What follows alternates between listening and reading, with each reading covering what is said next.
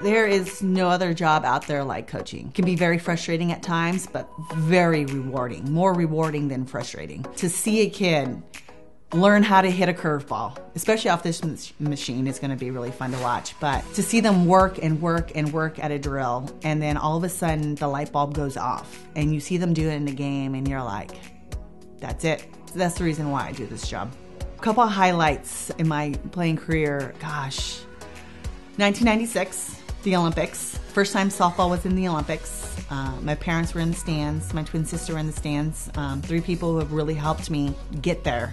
And for them to be able to see us win that gold medal was just incredible.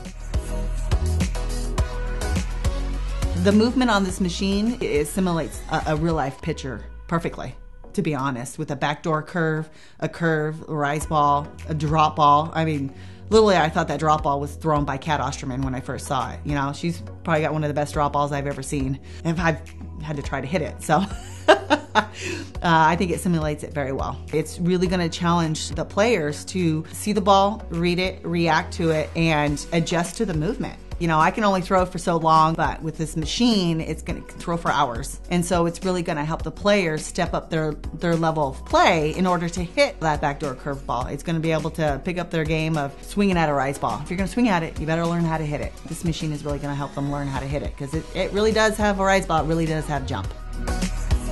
The one thing I love about BP3 is just the different pitches that it throws. And it's easy. I just turn a knob and it gets there immediately. I don't have to fuss around with anything else. I just turn the knob and we go from there.